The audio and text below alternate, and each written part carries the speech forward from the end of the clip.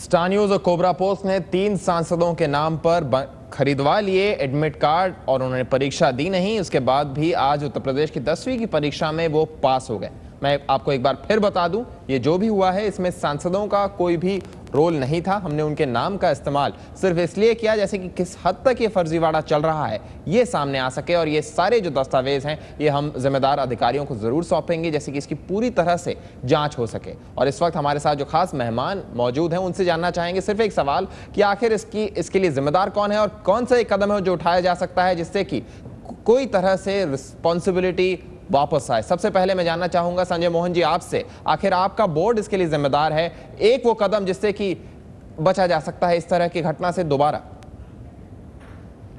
देखिए, आज जिस गंभीर अनियमितता का खुलासा आपके द्वारा किया गया है, उसकी जितनी भी निंदा की जाए वो कम है और मैं स्पष्ट रूप से ये कहने मुझे कोई संकोच नहीं है कि माध्यमिक शिक्षा परिषद इसमें अपने दायित्वों से मुक्त नहीं हो सकता।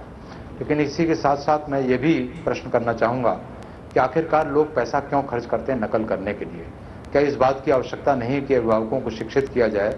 और यह बताया जाए कि अगर उनके पुत्र या पुत्री बिना पढ़े परीक्षा देंगे तो भले ही वो परीक्षा उत्तीर्ण कर लें जी आपने अपनी ज़िम्मेदारी मानी। है। हमें उम्मीद है कि कदम आप अपने लेवल पे ज़रूर उठाएँगे। सबसे अब पूर्व शिक्षा मंत्री ओम प्रकाश सिंह हमारे साथ हैं। वो एक कदम जो इसी वक्त उठ जाना चाहिए। जी सिंह साहब मैं आपसे जानना चाहता हूँ वो एक कदम जो इसी वक्त उठाना चाहिए नई सरकार को।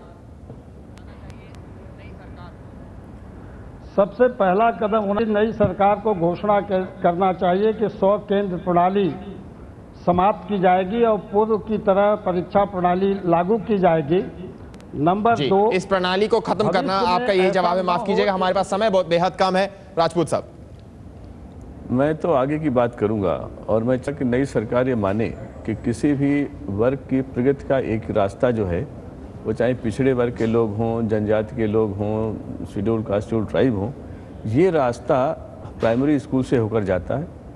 स्कूल जब तक ठीक नहीं चलेगा प्रगति का कोई अर्थ नहीं होगा। जी स्कूल रिफॉर्म बेहद ज़रूरी है राजपूत साहब आपका और हमारे दोनों और अन्य मेहमानों का बहुत बहुत शुक्रिया। हमारा ये स्टिंग ऑपरेशन ये बहुत बड़ा खुलासा जो आपके सामने रखा है इसमें लोगों के क्या जवाब हैं? सत्तर फ़ीसदी हमारे दर्शक मानते हैं कि इस खुलासे के बाद अब इस एग्ज़ाम का कोई मायने नहीं है। हमें लेना होगा एक छोटा सा ब्रेक ब्रेक के बाद कुछ और अहम एक बहुत बड़ी खबर है आज स्टार न्यूज़ पर रात दस बजे। ज़रूर देखिएगा